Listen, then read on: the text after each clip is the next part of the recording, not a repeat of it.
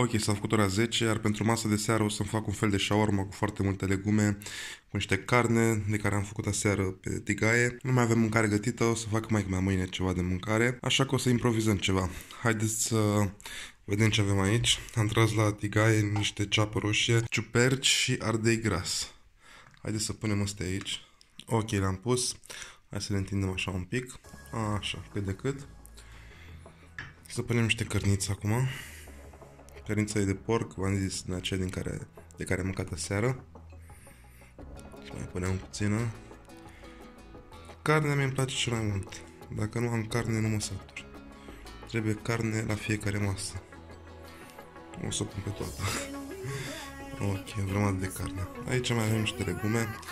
Avem, uh, de fapt nu, stai să pun uh, cașcavalul. Avem două filițe de cașcaval. Le punem aici pe mijloc. Iar aici avem niște legume crude. Avem ridichi, roșii sherry, ceapă roșie și ardei gras. O să le punem și peste așa peste. Nu rămas puține. Da. Așa. Aici avem niște sos barbecue cu 0 calorii. Să amestecăm un pic că nu mai folosit de foarte mult timp. Punem un pic niște sos barbecue așa, că merge cu cărnița asta. Iar aici avem spanac. Baby spanac. Umplem cu spanac. Toată nebunia asta. Ok, și am făcut o dita mai shawarma.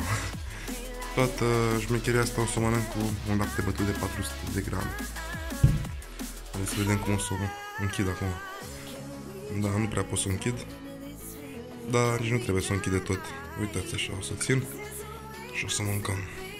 Poftă bună!